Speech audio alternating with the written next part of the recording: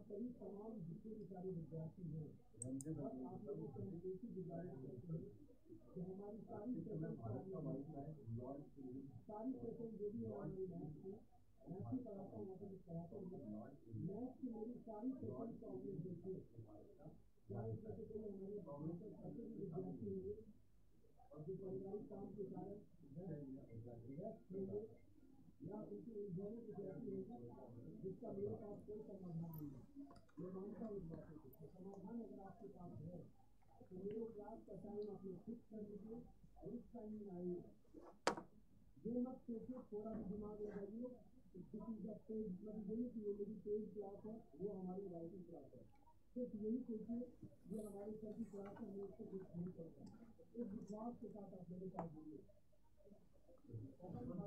good afternoon everyone good afternoon guys very very good afternoon to all of you so आ जाइए सब लोग live शुरू करते हैं।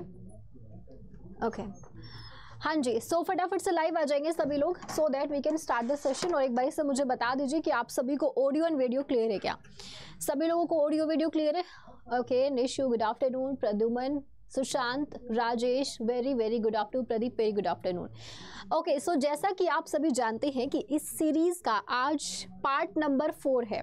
इससे पहले इस सीरीज़ की तीन क्लासेस ऑलरेडी हो चुकी है तो जितने भी ऐसे एस्पिरेंट्स हैं जिन्होंने पहले वाली क्लासेस नहीं देखी हैं तो प्लीज़ पहले वाली क्लासेस ज़रूर देख लीजिएगा, क्योंकि जब आप ये सीरीज़ कंप्लीट कर लेंगे तो डेफिनेटली आप लोगों को रियलाइज़ होगा कि आपके मोक में जो मार्क्स है वो काफ़ी इंप्रूव हुए हैं। इसके लिए ज़रूरी है कि स्टार्टिंग से लेकर के आप लोग पढ़ो। फ़िलहाल तो लाइव सेशंस आप लोगों को अटेंड करने हैं, बची हुई क्लासेस को बाद में कीजिएगा, ठीक है? ओके सो शुरू करते हैं। फ़र्स्ट क्वेश्चन मैं दिखाने जा रही हूँ आपको स्क्रीन पर। फ़र्स्ट क्वेश्चन ये रहा। हाँ जी, बताइए। आपसे पूछा जा रहा है फ़र्स्ट क्वेश्चन में through which gulf does the international date line pass जो हमारी इंटरनेशनल डेट लाइन है, ठीक है? जो अंतर्राष्ट्रीय तिथि रेखा है, वो कहाँ से होते हुए गुजरती है, ये आपको बताना है, ठीक है? चलिए आंसर करेंगे जल्दी से, क्या होगा? करेक्ट आंसर जल्दी से, फटाफट से सब लोग जुड़ जाओ क्लास में। प्लीज़ लेट मत आया करो क्लास में, जल्दी टाइम से आया करो। Good afternoon Satyaveer, Nishu, Govind, Mahesh, Shakir good afternoon हाँ जी, बताइए, क्या होगा करेक्ट आंसर हमारी जो इंटरनेशनल डेट लाइन है, ये कहाँ से होते हुए गुजरती है? Bering Strait Bay of Bengal Bay of Mannar Gulf of Alaska कौन सी जगह से होते हुए गुजरती है? तो यहाँ पे जो आपका करेक्ट आंसर हो जाएगा दैट इज़ बेरिंग स्ट्रेट से होते हुए गुजरती है। अब आप सोच रहे होगी, मैडम बेरिंग स्ट्रेट ये कहाँ पर है? देखो स्ट्रेट का मतलब होता है एक ऐसी जगह स्ट्रेट जो दो वाटर बॉडीज को कनेक्ट करता है एंड लैंड एरियाज़ को अलग करता है, ठीक है?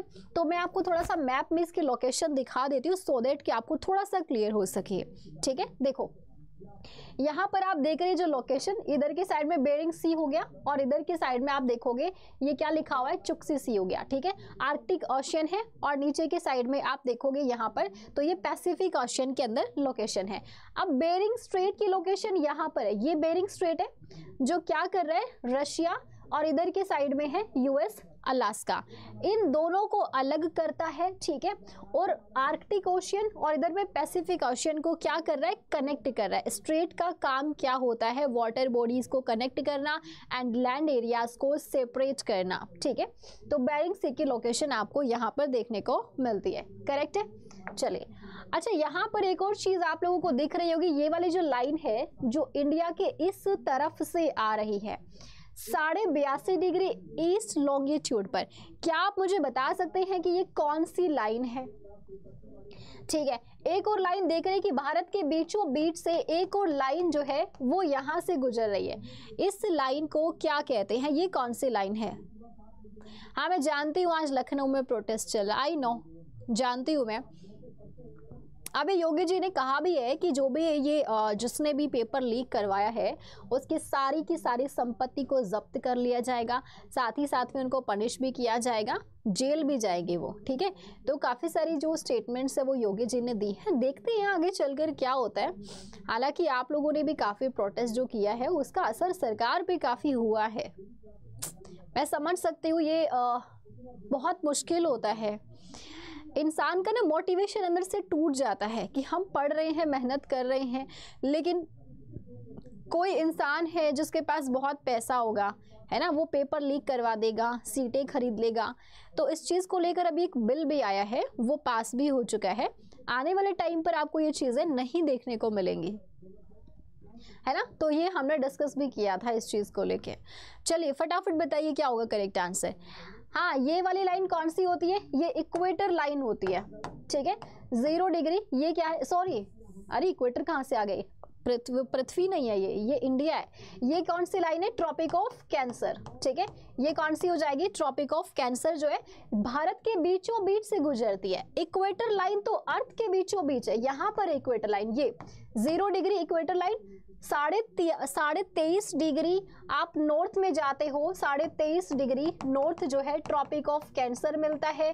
साढ़े तेईस डिग्री जब आप साउथ में आते हो तो यहाँ पर आपको ट्रॉपिक ऑफ़ कैप्रिकॉर्न मिलता है। इंडिया की जो लोकेशन है, वो यहाँ पर आपको मिलती है इंडिया ठीक है? जो ट्रॉपिक ऑफ़ कैंसर है, ये इंडिया के बीचों बीच से गुजरता है। यहाँ से कितने स्टेट गुजरते हैं? तो कितने राज्य गुजरते हैं? आठ राज्य गुजरते हैं, आठ स्टेट जो मैंने आपको ट्रिक से बताया हुआ है। और ये वाली लाइन कौन सी है? ये नहीं बताया आपने, ये कौन सी लाइन इसे कहते हैं, क्या कहते हैं? इंडियन स्टैंडर्ड टाइम ये आईएसटी लाइन है जो पाँच राज्यों से होते हुए गुजरती है, ठीक है? पाँच राज्यों से। ये इंडियन स्टैंडर्ड टाइम खींचा हुआ है हमारा, जो पूरे भारत का एक स्टैंडर्ड टाइम बताता है। तो ज्योग्राफी की पेड क्लास में मैंने एक एक पॉइंट जो है ये आपको क्लियर किया हुआ है। कितने डिग्री पे ये साढ़े बयासी डिग्री पर आपको मिलती है। तो डायरेक्ट क्वेश्चन जो है वो यहाँ से बन जाते हैं, ठीक है? ओके? यहाँ पर अड़सठ सात से लेकर सत्तानवे पच्चीस हो जाएगी। ठीक है? अड़सठ साठ से सत्तानवे पच्चीस जब इन दोनों को ऐड करके आप टू से डिवाइड करोगे, साढ़े बयासी डिग्री ये जो लाइन है वो यहाँ पर आपको मिलती है। पाँच राज्यों से ये गुजरती है, जो कि इंडिया का एक स्टैंडर्ड टाइम बताती है, ठीक है? चलिए, अगले सवाल पे चलते हैं। नेक्स्ट क्वेश्चन देखो। निम्न में से कौन सा ऐसा मार्ग है जो रूट है श्रीनगर को लेह से जोड़ता है? This is very very important question बताइए, कौन सा ऐसा रूट है जो श्रीनगर को ले से कनेक्ट करता है? आपको यहाँ पर पासेस दिए हुए हैं ऑप्शंस में पासेस दिए हुए हैं। ठीक है? वो जीएमटी लाइन वो टाइम स्टैंडर्ड टाइम बताती है, ठीक है? एक जो, वो जो लाइन होती है, वो स्टैंडर्ड टाइम बताती है। पूरे वर्ल्ड का एक स्टैंडर्ड टाइम होता है जीएमटी लाइन का। तो ये भी मैंने कराया हुआ है आपको क्लास में कई बारी, ठीक है? इस पे क्वेश्चन आएगा, तब इसको डिटेल में डिस्कस करेंगे। फ़िलहाल बताइए यहाँ पे कौन सा ऐसा रूट है जो कनेक्ट करता है, श्रीनगर को ले से कनेक्ट करता है। ऑप्शन नंबर डी होगा। पक्की बात है। सोच लो। ओके ठीक है।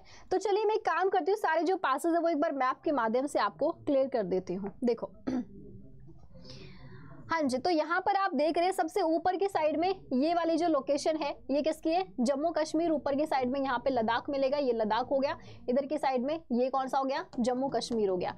ये जितने दर्रे बनीहाल जोजिला पीर पंजाल बुर्जिला एंड यहाँ पे काराकोरम दर्रा हो गया। ये सारे दर्रे जो है, ये कहाँ पर आपको मिलते हैं? जम्मू कश्मीर एंड लद्दाख में, ठीक है? थोड़ा सा नीचे की साइड में आओगे तो बारालाचा शिपकिला और रोहतांग। ये कौन सी वाली जगह हिमाचल प्रदेश है। ये जगह हिमाचल प्रदेश में आपको मिलता है। फिर ग्रीन वाला जो हाईलाइट हो रखा है, ग्रीन वाला, यहाँ पर कौन सा दर्रा आपको मिलेगा? माना लिपुलिक नीति। ये कौन सी जगह ये उत्तराखंड है। तो जितने भी पासेस है, मैं एक बार आपको मैप में समझा देती हूँ। सिर्फ़ पासेस कुछ ही स्टेट्स में आपको मिलते हैं, ठीक है? ये पिंक नाथुला और जेलेप्ला, ये सिक्किम के अंदर मिलेगा। यहाँ पे है सिक्किम की लोकेशन बोंडिला यांग्याप, दीफू, ये अरुणाचल प्रदेश में है।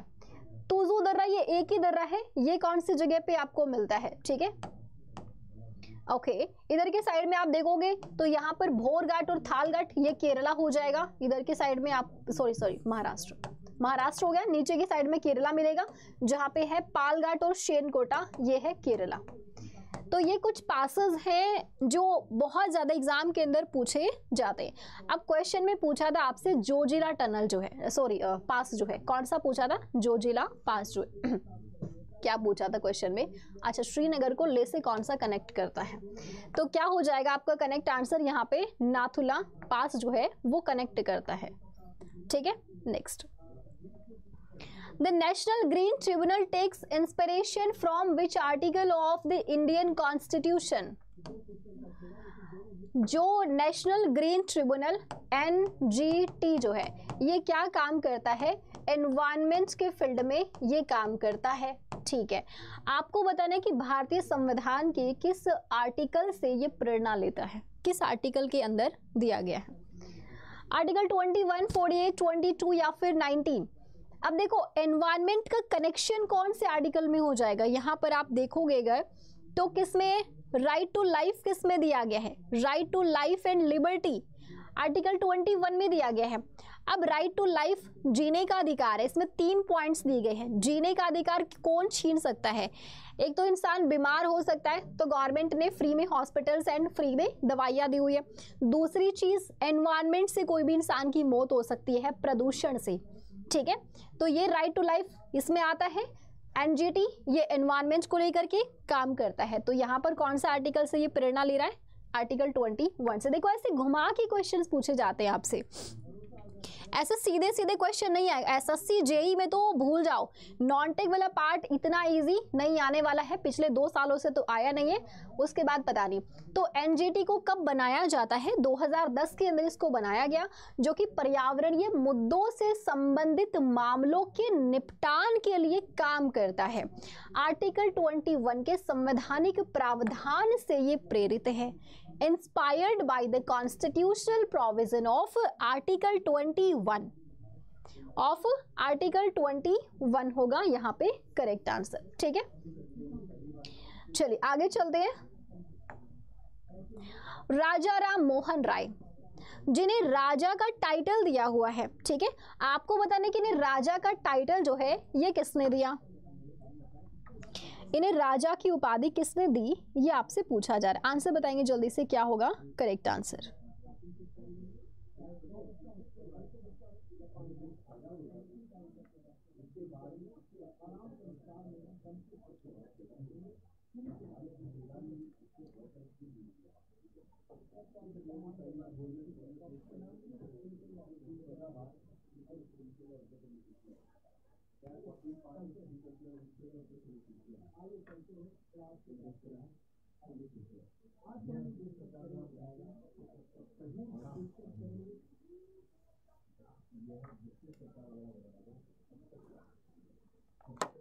okay so so, क्या आप लोगों ने आंसर किया? राम मोहन राय को राजा का टाइटल जो है, ये किसने दिया? राम मोहन राय को राजा का टाइटल जो है, वो किसने दिया? तो क्या होगा करेक्ट आंसर यहाँ पे? अकबर द्वितीय ने दिया। बिल्कुल सही है। अकबर सेकंड ने राजा राम मोहन राय को टाइटल दिया था। किसका? राजा का टाइटल दिया। तो राजा राम मोहन राय इन्होंने ही किसकी स्थापना की हुई है? किसकी इन्होंने स्थापना की हुई? तो इन्होंने ब्रह्म समाज की स्थापना की हुई है। ठीक है? इन्होंने ही ब्रह्म समाज की स्थापना जो 1828 में की थी, ये पहले क्या था? इसे पहले आत्मीय सभा के नाम से जाना जाता था, जो कि 1815 के अंदर इसे स्थापित किया जाता है। ठीक है, इन्होंने ही सती प्रथा का भी अंत किया 1829 में। किसके साथ में मिलकर? लॉर्ड विलियम बेंटिक जो कि उस समय पे आए थे। ठीक है, एक सेकेंड गाइज़ यहाँ पे जो आंसर है ना, जो जिला है ये। ठीक है? क्या होगा इसका करेक्ट आंसर को ठीक कर लेना। इसका जो जिला इसका जो करेक्ट आंसर श्रीनगर है ना? श्रीनगर को ले से कनेक्ट कर रहा है तो जो जिला होगा ना आपका। श्रीनगर जो है, श्रीनगर कहाँ पे मिलेगा? जम्मू कश्मीर में मिलेगा तो जम्मू कश्मीर में जो जिला होगा ना? ये नाथुला दर्रा कहाँ पे? सिक्किम के अंदर है। है ना? तो बाई मिस्टेक मैंने वो नाथुला कर दिया। जोजिला इज़ करेक्ट आंसर ठीक है? नाथुला कहाँ पर? नाथुला और जेलेपला ये तो सिक्किम के अंदर ये पासिस है। एक बच्चे का कमेंट मैंने अभी देखा तो मुझे याद आया। चलिए, आगे चलते हैं। नेक्स्ट क्वेश्चन नेक्स्ट है क्वेश्चन नंबर फाइव सत्यमेव जयते का नारा किसने दिया था? आपसे पूछा जा रहा है कि सत्यमेव जयते का नारा जो है, ये किसने दिया था? चार ऑप्शंस दिए हुए गांधी जी, श्यामलाल गुप्ता, पंडित मदन मोहन मालविया या फिर Lal Bahadur Shastri. Which is your correct answer session को प्लीज़ एक बार से लाइक एंड शेयर कर दीजिए। सुना ही नहीं मैंने, हो जाता है कभी कभी वैसे देखो, मैप में मैंने ठीक से बताया था आप लोगों को, जम्मू कश्मीर के अंदर है है ना? जो जिला, जो आपका पास है। मेरे दिमाग में नाथुल्ला पता नहीं क्यों घूम रहा था। कोई बात नहीं करेक्ट कर लेना उसको, ठीक है? क्या होगा भाई, यहाँ पे आंसर बताइए। ओके संजय कह रहे ऑप्शन बी होगा अपकमिंग इंजीनियर साहब। सी कह रहे हैं, ठीक है? इंजीनियर साहब की बात बिल्कुल सही है, पंडित मदन मोहन मालविया जो है। इन्होंने सत्यमेव जयते का नारा दिया था। इन्होंने ही सत्यमेव जयते का नारा दिया। Option number A is your correct, option number क्या है? सी पे है ना ये? हाँ C is your correct answer, ठीक है? नेक्स्ट। ट्रांसफॉर्मर की खोज किसने की? Who invented the transformer transformer क्या होता है? ट्रांसफॉर्मर ना, जहाँ पर बिजली का जो कनेक्शन है, वो एक जगह से दूसरे जगह पे पहुँचाया जाता है ट्रांसफॉर्मर की माध्यम से, ठीक है? तो ट्रांसफॉर्मर की खोज किसने की थी? ओटो ब्लाथी ने की माजी कोर्नी ने की माइकल फेराडे या फिर वाल्टर हंट ने की? आपसे पूछा जा रहा है कि ट्रांसफॉर्मर की खोज किसने की थी। Which is your correct answer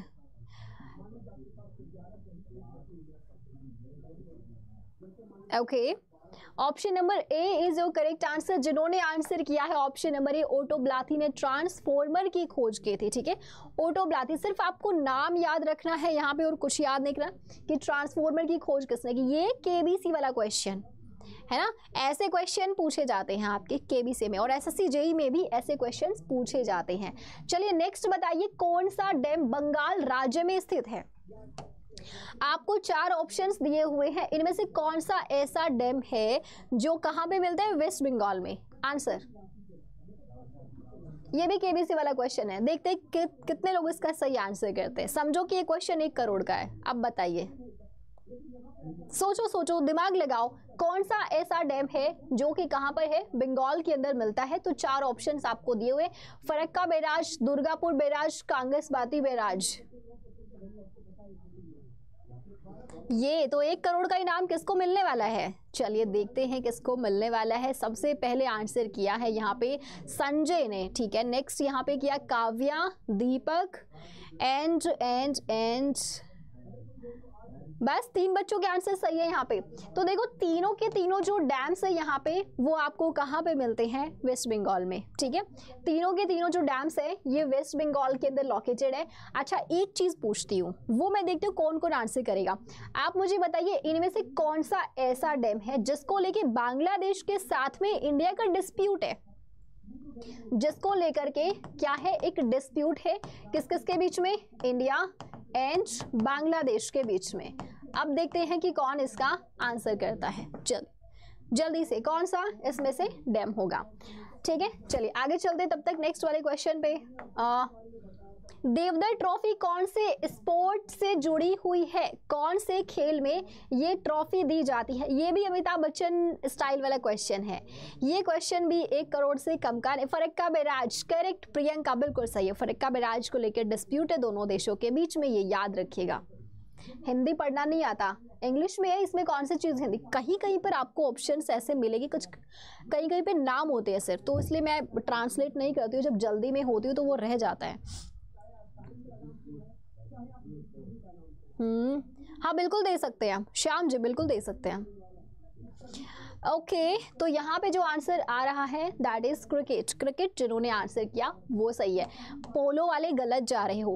cricket में देवदर ट्रॉफी दी जाती है. देखो रणजी ट्रॉफी ये किसमें दी जाती है? ये आपका क्रिकेट में दी जाती है. विजय हजारे ट्रॉफी विजय हजारे ट्रॉफी भी किसने ये भी क्रिकेट में दी जाती है. मुश्ताक अहमद अली ट्रॉफी क्या है? मुश्ताक अहमद अली ट्रॉफी जो है, ये भी किसमें दी जाती है? ये भी क्रिकेट में ही दी जाती है। और कौन सी हो गई? देवधर ट्रॉफी हो गई। ये भी किसमें दी जाती है? क्रिकेट में। तो ये सारी ट्रॉफी दी जाती हैं क्रिकेट में।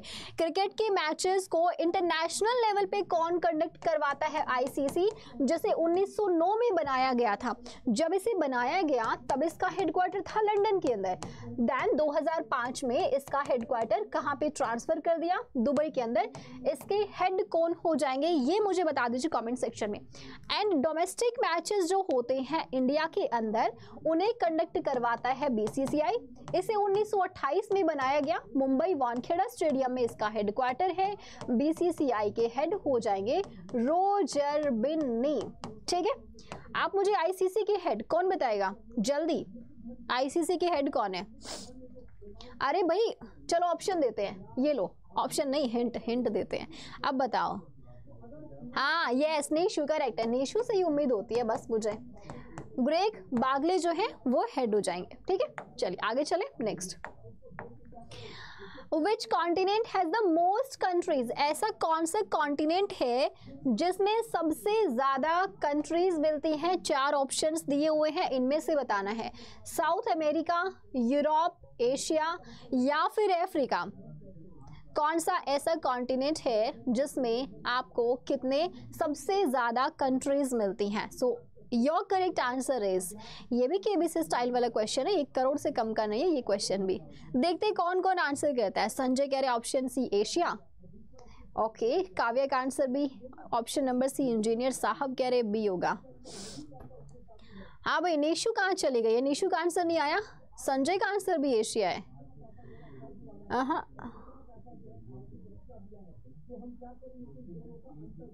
अजय करेक्ट है। क्या होगा? Africa which is group of 54 countries ठीक है? Which is group of 54 countries Africa के अंदर सबसे ज़्यादा आपको कंट्रीज़ मिलती हैं। चलिए एक एक करके बात करते हैं। यहाँ पर अगर हम बात करें यूरोप के बारे में तो एक ऐसा कॉन्टिनेंट है जिसमें आपको कोई भी डेजर्ट नहीं मिलता है। ठीक है? कोई भी डेजर्ट नहीं मिलेगा। Okay okay? एंड इसके अलावा अगर हम एशिया की बात करते हैं एशिया में आ, टोटल जो है वो लगभग 50 देश आते हैं। हालाँकि एशिया की कुछ कंट्रीज़ ऐसी भी हैं जो यूरोप में भी आती है और एशिया में भी आती है। ना यूरेशिया कहते हैं। For example Russia. रशिया जो है, रशिया जो है, उसका जो एरिया है वो एशिया में भी आता है एंड यूरोप में भी आता है, इसलिए इसको क्या बोलते हैं? यूरेशिया बोलते हैं। तो लगभग एशिया में 50 देश आते हैं, जबकि अफ्रीका में 54 कंट्रीज़ हैं। तो सबसे ज़्यादा कंट्रीज़ कौन से कॉन्टिनेंट में मिलती हैं आपको? ये एशिया के अंदर नहीं, बल्कि अफ्रीका के अंदर आपको मिलती हैं। ठीक है साउथ अमेरिका में सिर्फ़ थर्टीन कंट्रीज़ मिलेगी। साउथ अमेरिका में सिर्फ़ थर्टीन कंट्रीज़ मिलती हैं। यूरोप की बात करेंगे तो यूरोप में भी आपको फिफ्टी कंट्रीज़ ही अप्रोक्सीमेट मिलती हैं। ठीक है, चलिए आगे चलते हैं। एक बायोग्राफी ये बताना है किसकी है six machine I don't like cricket I love it six machine I don't like cricket I love it बताइए, ये किसकी, क्या है? बायोग्राफी है। सुरेश रैना की है, शाहिद अफरीदी की है, ब्रांडन मैकुलम की है, या फिर क्रिस गेल की ये बायोग्राफी है। हाँ जी, ये दो करोड़ का सवाल है। दो करोड़ का सवाल, बताइए कौन इसका आंसर करना चाहेगा? इमेजिन करना जस्ट इमेजिन करना इस क्वेश्चन का सही आंसर हो। और अगर आप केवीसी में बैठे होते तो आपको कितना पैसा मिलता इनाम के रूप में, ठीक है? बताओ भाई जल्दी से आंसर ऑप्शन नंबर डी होगा। पक्की बात है। क्रिस गेल, करेक्ट है। आपने जीता है दो करोड़ का इनाम। बिल्कुल सही है गाइस तो सिक्स मशीन ये वाली जो बायोग्राफी आती है, क्रिस गेल की बायोग्राफी है इंपॉर्टेंट क्वेश्चन है, इसको याद रखिएगा। ठीक है? आगे चले। Okay so cricket Chris Gayle के बारे में ये याद रखिएगा कि ये जो है इंटरनेशनल क्रिकेट खेलते किसके लिए? फोर वेस्ट इंडीज के लिए खेलते हैं। नेक्स्ट किस राज्य सरकार ने राज्य के ग्रामीण क्षेत्रों में रहने वाले वरिष्ठ नागरिकों के लिए पंचवटी योजना का शुभारंभ किया था? एक स्कीम आती है, पंचवटी स्कीम। ठीक है? For senior citizen living in rural areas of the state कौन से स्टेट गवर्नमेंट ने स्टार्ट किया? रूरल एरियाज़ के लिए फॉर सीनियर सिटीजन बताइए। काश, मैडम निशु निशु कह रही है, काश ये सच होता तो आज मैं करोड़पति बन जाती। हम्म। ठीक है। ओके।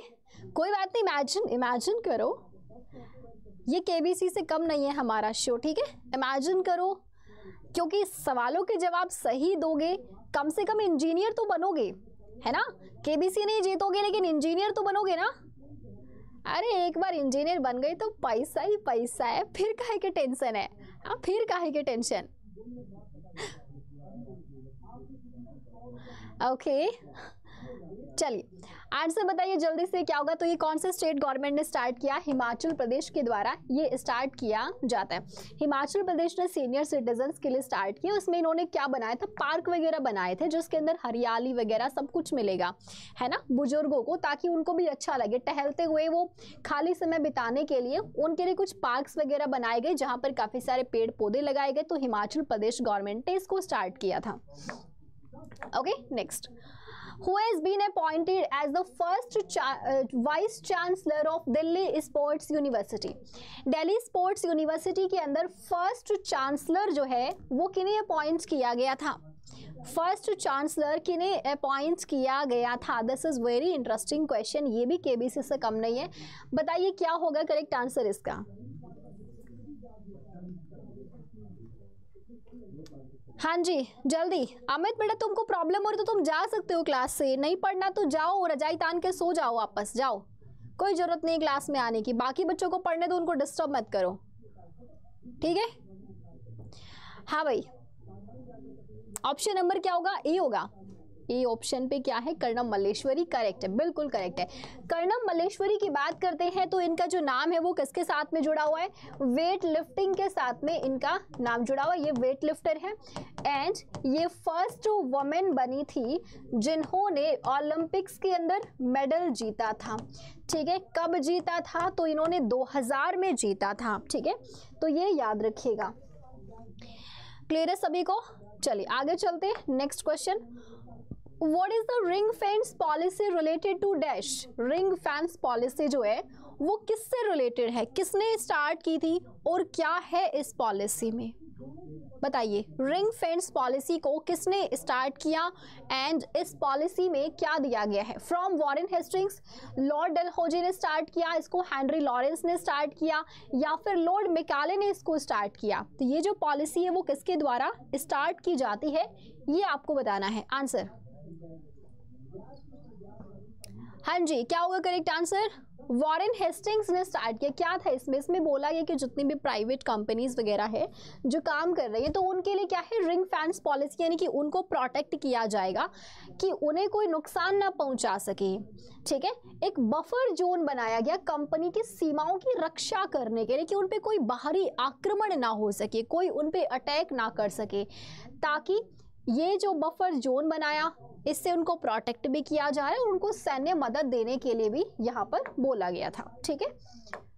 चलिए नेक्स्ट है question number fourteen the vice president of India जब थे एम वेंकैया नायडू, जब तो ये फॉर्मर वाइस प्रेसिडेंट हो गए हैं, जगदीप धनखड़ के आने के बाद, इन्होंने एक बुक को रिलीज़ किया था, जिसका नाम है the Raj Kapoor the master at work आपको बताने इसके राइटर कौन है? प्लीज़ ये मत सोचना कि अब ये क्वेश्चन नहीं आएगा। बुक्स एंड ऑथर के क्वेश्चन जितने भी पुराने हो, आपके एग्ज़ाम में आ सकते तो स्कीम्स हो गई बुक्स एंड ऑथर्स हो गई, ये सवाल करंट से रिलेटेड कोई मतलब नहीं होता है। इंपॉर्टेंट है तो सालों साल तक पूछे जाते हैं, ठीक है? हाँ क्लास का पीडीएफ मिलता है लास्ट में बताएँगे पीडीएफ लास्ट में बताएँगे। चलो आंसर करो जल्दी से यहाँ पे। जो करेक्ट आंसर है वो क्या होगा? आपसे पूछा जा रहा है कि ये जो पर्टिकुलर बुक है, इस बुक को किसने लिखा है? किसने लिखा है इस बुक को? ऑप्शंस राहुल रावेल ने लिखा है। ये सबका गलत था अनएक्सपेक्टेड था। चलिए, कोई बात नहीं, ऐसे क्वेश्चंस मैं समझ सकती हूँ कि इजीली नहीं याद होते हैं। आगे चलिए। In which state is the archaeological site Surkotada located Surkotada ठीक है? यह जगह कौन से स्टेट के अंदर आपको मिलती है? सुरकोटड़ा जो है, यह कौन से स्टेट में आपको जो हड़प्पा सभ्यता के प्रमाण यहाँ से मिले, ये हड़प्पा सभ्यता की ही जगह है, ठीक है? हड़प्पा सभ्यता की ही जगह है। 1964 के अंदर जगपति जोशी ने इसकी खोज की थी। जगपति जोशी ने। स्टेट कौन सा है? कहाँ पर है सुरकोटड़ा हाँ? गुजरात के अंदर करेक्ट है कहाँ पर मिलेगा? गुजरात के अंदर आपको इसकी लोकेशन जो है, वो मिलती है, ठीक है? तो यहाँ पर एक बहुत बड़ा टीला था, जहाँ पर उत्खनन वगैरह भी किया गया था ओके इतना खैर आपको याद नहीं रखना, आपको जगह का नाम याद रखना है that's it which type of iron ore is also known as brown ore किस प्रकार के लोह अयस्क को ब्राउन अयस्क भी कहा जाता है? किस प्रकार के लोह अयस्क को ब्राउन अयस्क भी कहा जाता है?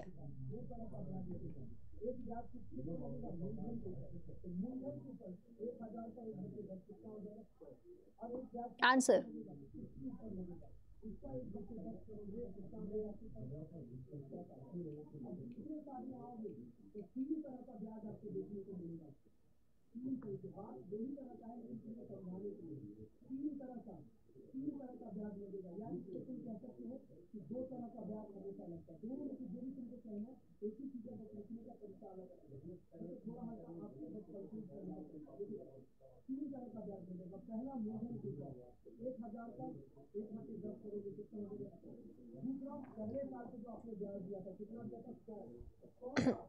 क्या होगा भाई? Correct answer option number C होगा। ओके पक्की बात है ऑप्शन नंबर सी कुछ कुछ ए भी आंसर कर रहे हैं हेमेटाइट देखो लो एस्क को ब्राउन एस्क भी कहा जाता है, क्यों कहा जाता है? क्योंकि इसके अंदर लोहे की जो मात्रा होती है, वो कैसे होती है? वो 35 परसेंट से लेकर 50 परसेंट तक इसके अंदर क्या पाया जाता है? इसमें आयरन और पाया जाता है। इसी वजह से ये कैसा दिखाई देता है ब्राउन दिखाई देता, ये लिमोनाइट हो जाएगा। हेमेटाइट के अंदर लोहे की मात्रा ज़्यादा होती है, ठीक है तो उसको वो ब्लैक दिखाई देता है, जिसकी वजह से अगर हम हेमेटाइट की बात तो 60 से 70 परसेंट इसमें आयरन होता है। तो ये जो है, वो इसमें कितना आयरन 60 से 70 परसेंट का इसके अंदर जो है आपको आयरन और देखने को मिलता है। ओके लिमोनाइट में कितना? 35 से 50 परसेंट तक इसमें मिलता है। साइडराइट में 10 से लेकर 48 परसेंट तक मिलता है। ये सबसे घटिया किस्म का जो है वो होता है साइडराइट जो है। ठीक है? Next who was the first chairman of the Goods and Services Tax Council GST council जो है। जीएसटी काउंसिल जिसको हेड किया जाता है बाय फाइनेंस मिनिस्टर ठीक है? तो आपसे पूछा जा रहा है कि इसके जो पहले अध्यक्ष थे, ये कौन थे? इसके जो पहले अध्यक्ष थे, ये कौन थे? 2016 में, बताइए। सुरेश प्रभु थे, नितिन गडकरी, अरुण जेटली या फिर निर्मला सीतारमन थे? Which is your correct answer GST और जीएसटी कब हमारे देश में लागू होता है? तो फ़र्स्ट ऑफ़ जुलाई 2017 को हमारे देश में जीएसटी लागू होता है, ठीक है। एंड जीएसटी सबसे पहले कौन से स्टेट में लागू हुआ था? आसाम में। सबसे लास्ट में कहा? जम्मू एंड कश्मीर में। सबसे पहले कौन से देश में लागू होता है? फ्रांस में। कब? 1954 में। ठीक है? तो पहली बार इसको किसने हेड किया? अरुण जेटली ने, जो कि हमारे फाइनेंस मिनिस्टर थे तो इन्होंने इसको सबसे पहले हेड किया था। ठीक है? Okay next which gas is use to fill airplane tyres हवाई जहाज़ के जो टायर होते हैं। ठीक है? तो पूछा जा रहा है कि हवाई जहाज़ के जो टायर होते हैं, उनमें कौन सी गैस भरी जाती है? इनफैक्ट गाड़ियों के जो टायर होते हैं, उनमें भी यही गैस भरी जाती है। अच्छा मुझे ये भी बताना कि रोटी जब फूलती है तो उसमें कौन सी गैस होती है? देखते कितने बच्चे आंसर करते हैं। जल्दी। कौन सी गैस होती है? हैं?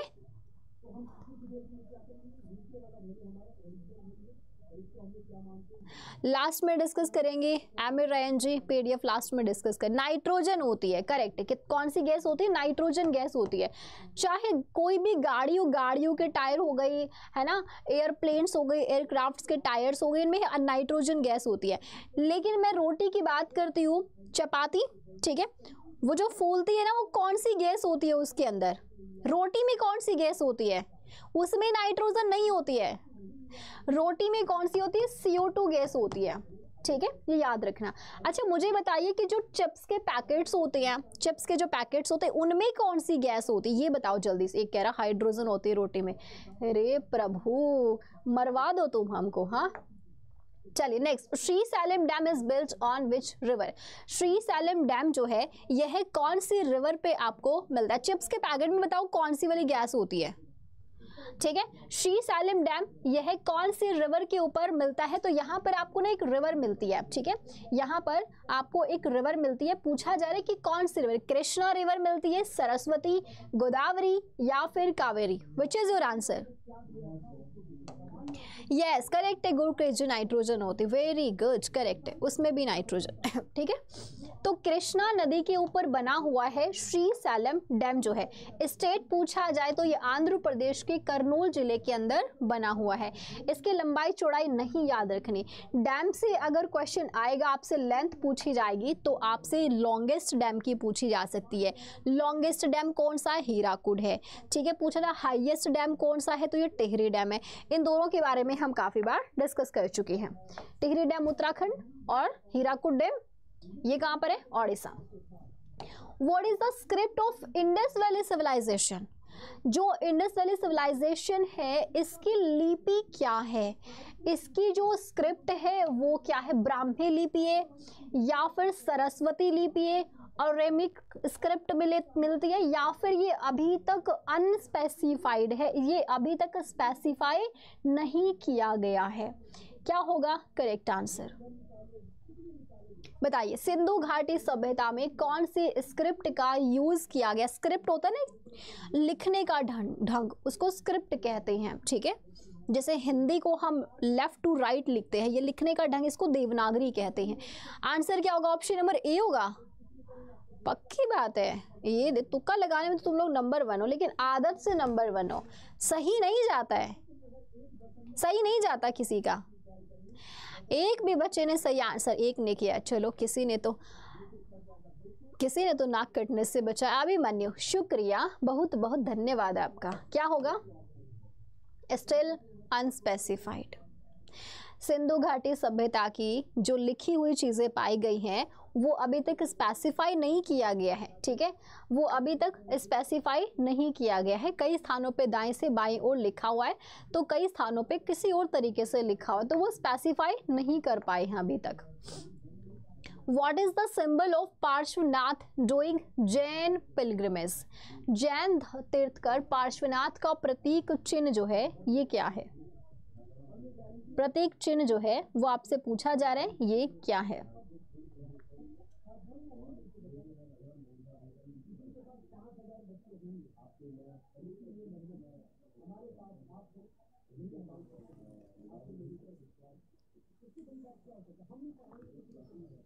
आंसर। प्रतीक चिन्ह बताना है। हम लखनऊ आ जाए। तुम चाहते हो हम भी लखनऊ आ जाए तुम्हारे साथ, है ना? और फिर यहाँ पे कौन पढ़ाएगा? चलिए इसलिए देखो, सारी चीज़ें ज़रूरी होती हैं, ठीक है? थीके? सारी चीज़ें ज़रूरी होती हैं। इमोशनल सपोर्ट भी ज़रूरी होता है, वो तो दे ही रहे ना हम आपको। ओके सो नेक्स्ट क्वेश्चन पे चलते ये आपको सिर्फ़ याद रखना है कि यहाँ पे सबका क्या होता है? संबल होता है। जब हम जैन तीर्थकर की बात करें टोटल जैन तीर्थकर जो है, वो कितने हो चुके ट्वेंटी फोर है। लेटेस्ट वाले जो है, ये कौन है? भगवान महावीर हैं। जो चौबीसवें जैन तीर्थकर हैं, ठीक है? ओके सो अब आ रही है लाइव टेस्ट की। टेस्ट में आपको टेन क्वेश्चन मिलेंगे। आउट ऑफ़ टेन आपको बताना है कि आपका स्कोर क्या रहा है। शुरू करते टेस्ट कोई चिटिंग नहीं करेगा। यहाँ पर ईमानदारी से सभी लोगों को अपना अपना आंसर बताना। है लास्ट में अपना स्कोर बताना है कि आपका स्कोर क्या रहा। तो चलिए फ़र्स्ट क्वेश्चन ये रहा। A short season between rabi season and kharif season is called dash एक होता है रबी का मौसम रबी फ़सल। एक होता है खरीफ मौसम खरीफ की फ़सल। इन दोनों के बीच का एक छोटा सा मौसम आता है, जिसमें आपके तरबूज आते हैं, खरबूजा आता है, भिंडी की सब्ज़ी। है ना? ये ये भिंडी की सब्ज़ी तो शायद उस सीज़न में नहीं आती। हाँ नहीं, भिंडी की सब्ज़ी उस सीज़न में आई थिंक नहीं आती। लेकिन तरबूज, खरबूजा, आम मुँह में पानी आ रहा है ना? हाँ ये जिस सीज़न में आते हैं, उस सीज़न को हम क्या कहते हैं, जो रबी और खरीफ के बीच का मौसम होता है, इसे जायद कहते हैं। बिल्कुल सही है करेक्ट है। पहला सवाल सभी का सही है, इसे जायद कहा जाता है। ठीक है next who is the author of the great Indian novel ये जो ग्रेट इंडियन नॉवल है, इसके राइटर बताना है। इन्हें अभी फ्रांस का सर्वोच्च सम्मान मिला था। The legion of the order knight of the legion of the honour का सम्मान इनको दिया गया, जो फ्रांस का सर्वोच्च सम्मान है। अब तो बता दो करंट अफेयर वालों कहाँ रह गए तुम? अभी तो पढ़ाया है, दो बार पढ़ा चुकी हूँ। करंट अफेयर में एक बार तो फ्रेश न्यूज़ आई थी, तब और एक बार रिविजन में पढ़ाया था मैंने। अरे भगवान, पता नहीं कौन सी कौन सी कंपनी की बादाम खाते हो, तुम भूल जाते हो। हाँ हाँ बी किसने किया है? काव्या, अमित। ठीक है correct correct correct Shashi Tharoor. इन्हें फ्रांस का सर्वोच्च सम्मान दिया गया, और ये जो बुक आती है, वो इन्हीं की बुक आती है। ठीक है? आगे चलते धीमसा। धीमसा एक फोक डांस है। यह कौन से स्टेट में परफॉर्म किया जाता है? Dhimsa is a folk dance. कौन से स्टेट में इसको परफॉर्म किया जाता है? ये आपसे पूछा जा रहा है। तो बताइए जल्दी से, कौन से स्टेट का फोक डांस है? ऑफ़ विच स्टेट कौन से राज्य में परफॉर्म किया जाता है? हाँ legion of the Modi ji को भी मिला था, बिल्कुल सही। 2023 में भी तो दिया गया था मोदी जी को। अरे मोदी जी को तो बहुत सारे अवार्ड्स मिले हैं। सिर्फ़ फ्रांस से नहीं मिला इनको पापुआ न्यू गिनी से इनको मिला फिजी से इन्हें मिला यूए से इन्हें मिला, ठीक है? काफ़ी सारी कंट्रीज़ से मिला इजिप्ट से भी मिला। ऑप्शन नंबर डी होगा डी होगा। हाँ सी, अभिमन्यु करेक्ट है। क्या होगा? आंध्र प्रदेश। तो धीमसा डांस फॉर्म ये कहाँ परफॉर्म किया जाता है? आंध्र प्रदेश में यह परफॉर्म किया जाता है। ठीक है? याद रखिएगा। नेक्स्ट फरक्का बिराज भारत, ये पीछे में बता चुकी भारत और बांग्लादेश के बीच में क्या है? एक डिस्प्यूट है। ये गंगा नदी के ऊपर बना हुआ क्या है? एक डैम है, एक बैराज है। 1975 में भारत के द्वारा इसको बनाया गया था, जिसको लेके दो देशों के बीच में डिस्प्यूट रहता है। Next where is the Indian pulses research institute कहाँ पर? ये न्यूज़ में भी है, क्योंकि पल्सेस के ऊपर अभी गवर्नमेंट ने एमएसपी दिया है मिनिमम सपोर्ट प्राइस दिया है फार्मर्स को, जो भी प्रोटेस्ट चल रहा है ना तो उसमें सरकार ने कहा है कि 23 क्रॉप्स के ऊपर हम ऑलरेडी एमएसपी दे रहे हैं। पाँच क्रॉप्स पर और ले लो और इस झंझट को खत्म करो। लेकिन फिर भी प्रोटेस्ट बंद नहीं हुआ। इनका कहना है फार्मर्स का यहाँ पे डिमांड है कि सिर्फ़ एमएसपी को फिक्स करने से कुछ नहीं होगा। तुम तेईस की चाहे चालीस कर दो, लेकिन हम चाहते हैं कि तुमने जो एमएसपी फिक्स किया है, उसके ऊपर लो बनाइए। तो ये पूरी कहानी चल रही है, एक सवाल तो बनेगा। अभी जो पाँच क्रॉप्स के ऊपर बढ़ाया है इन्होंने, इनमें से क्या क्या है? दलहन है पल्सेस ठीक है? इसमें क्या क्या पल्सेस तीन प्रकार की दालें हैं। अरहर की दाल हो गई, मूंग की दाल हो गई, एक और दाल है इसमें, ठीक है? पल्सेस के अलावा मेज इसके ऊपर भी एमएसपी दिया है और तीसरी चीज़ कॉटन के ऊपर भी एमएसपी दिया है। तो इसलिए पूछा जा सकता है पल्सेस रिसर्च सेंटर जो है, ये कौन सी सिटी के अंदर आपको मिलता है? तो क्या आप लोगों ने कॉमेंट्स कॉमेंट्स यहाँ पे जो आ रहे हैं, क्या बात है? सबका आंसर यही है ऑप्शन नंबर सी होगा कानपुर। चलिए ठीक है, मान लेते हैं। कानपुर से याद आए, कानपुर सेशन किसने हेड किया था? कानपुर सेशन 1917 में इंडियन नेशनल कांग्रेस का किसने हेड किया था? सरोजनी नायडू ने।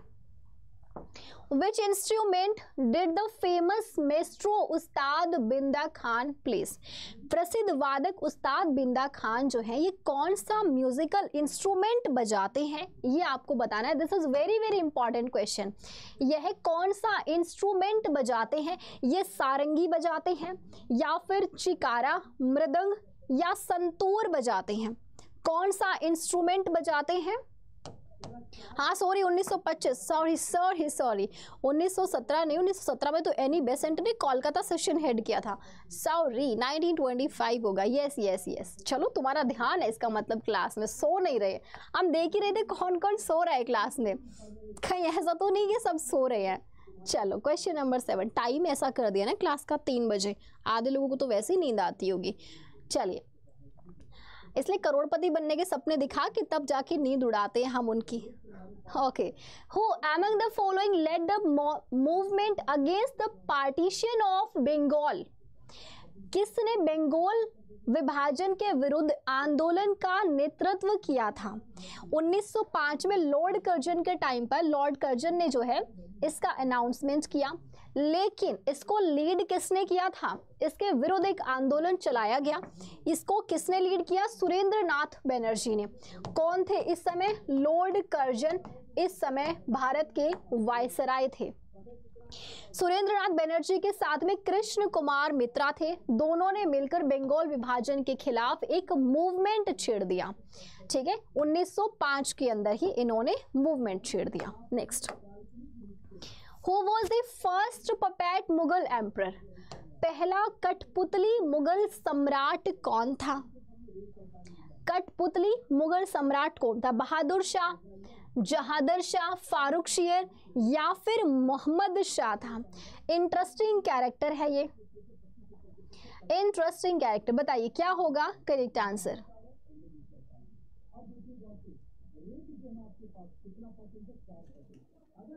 okay options A होगा। बहादुर शाह, नहीं नहीं नहीं नहीं no no no no Jahandar Shah था, ठीक है? ये हालाँकि तमूर तैमूर वंश से ही, उन्हीं का रिश्तेदार था, ये तैमूर वंश का ही रिश्तेदार था। इसी को कहा जाता है, मुगल बादशाह की कठपुतली कहा जाता है, जहादर शाह को ये नोवा मुगल सम्राट रहा। नोवा ये मुगल सम्राट था, ठीक है? नेक्स्ट ये इनका पूरा नाम याद रखिएगा। मिर्ज़ा मोइज उद्दीन मोहम्मद जहादर शाह, ये पूरा नाम है। Next question Kathmandu city is situated on the banks of which river नेपू हमारा प्यारा नेपू ठीक है? इसकी कैपिटल क्या है? काठमांडू है। यहाँ पर आपको किसका हेडक्वार्टर भी मिलता है? सार्क का। ठीक है? South Asian Association of Regional Cooperation का हेडक्वार्टर है काठमांडू में। यहाँ पर कौन सी रिवर बहती है? ये बताना है। इंग्लिश वालों सुन लो। Arun river, Saptakoshi river, Bagmati river या सुंगकोशी रिवर है। सप्तकोशी, संजय करेक्ट है। रिवर कौन सी हो जाएगी? सप्तकोशी नदी यहाँ पर बहती है। ठीक है? ओ गॉड क्वेश्चन का आंसर लीक हो गया। ओहो, चलो कोई बात नहीं, कोई बात नहीं। बताइए which of the following is the state bird of Haryana हाँ भाई, हरियाणा वाले चुप रहेंगे, उनको तो पता ही होगा। बाकी बताओ, हरियाणा के अंदर स्ट्रेट बर्ड जो है, ये कौन सा है? अच्छा यहाँ से करंट से रिलेट करो। गुजरात ने अपनी अक्वेटिक स्टेट ऑफ़ एनिमल जो है, वो डिक्लेयर किया है किसको? Aquatic animal aquatic animal declare किया है। जो कि एक फ़िश है। कौन सी फ़िश है? इसका आंसर नहीं बताया तो कसम से कुटाई होगी। बता रहे करंट अफेयर में ये रिवाइज भी करा चुकी हूँ और फ्रेश न्यूज़ में भी बता चुकी हूँ।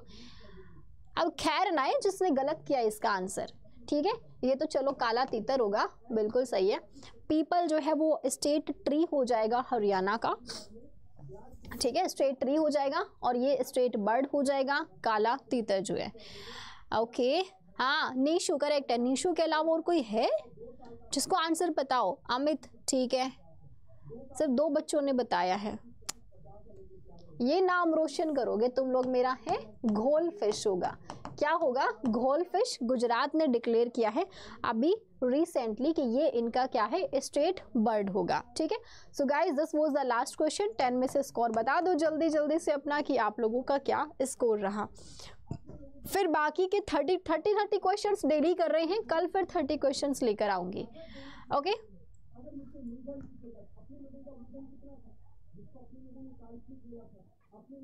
बताइए, क्या होगा करेक्ट आंसर सॉरी अब स्कोर बताइए स्कोर क्या होगा? आदत हो गई है बोलने की। जल्दी। अमित के टेन सही हैं। वाव अमित ग्रेट बहुत बढ़िया बहुत बढ़िया।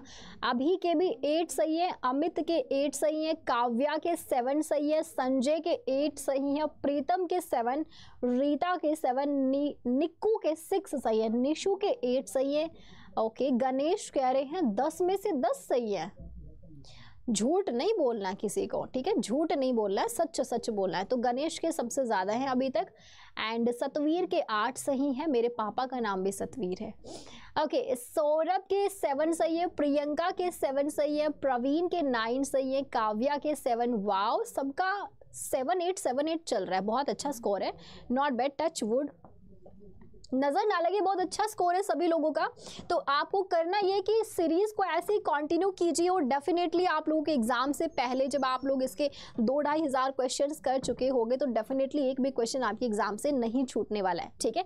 चलिए ओके गाइस तो सर आ गए हैं नेक्स्ट क्लास का टाइम हो गया। जाने से पहले एक बार इसे सेशन को लाइक एंड शेयर कर दीजिएगा। नए स्टूडेंट्स चैनल को सब्सक्राइब कर लेना।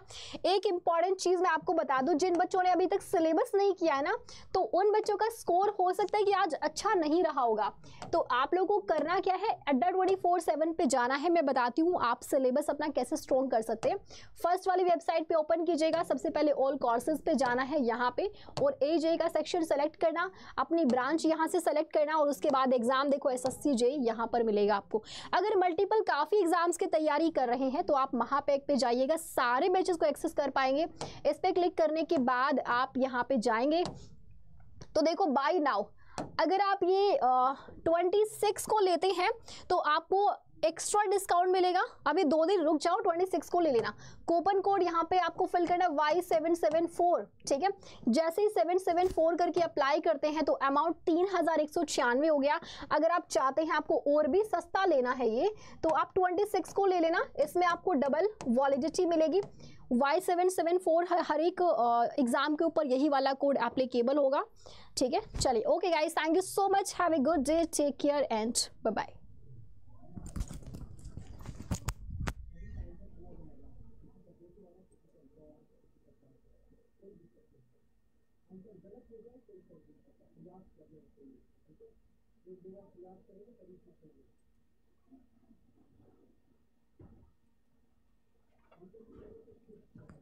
इसमें यूज़